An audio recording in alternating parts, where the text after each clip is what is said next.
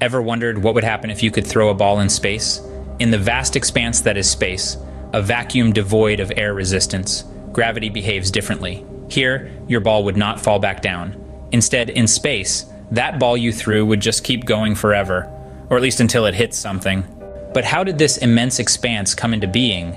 The answer lies in a theory you might have heard of the Big Bang. Around 13.8 billion years ago, a singularity, a point of infinite density and temperature, exploded.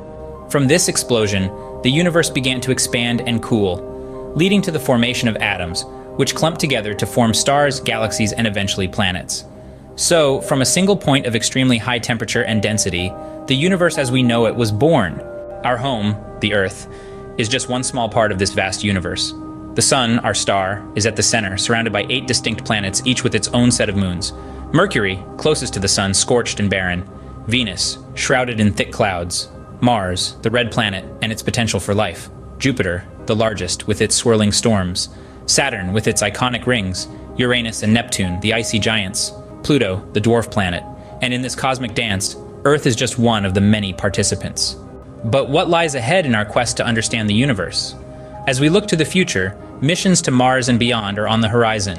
Private space companies are playing a pivotal role, driving innovation and opening up possibilities for space tourism.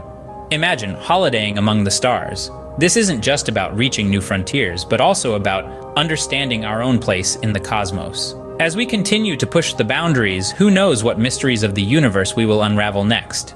From the birth of the universe to the future of space exploration, space truly is a fascinating subject. We've journeyed through its creation, delved into our solar system's secrets, and glimpsed into the future. So next time you look up at the night sky, remember you're not just looking at stars, you're looking at a universe full of mysteries waiting to be uncovered.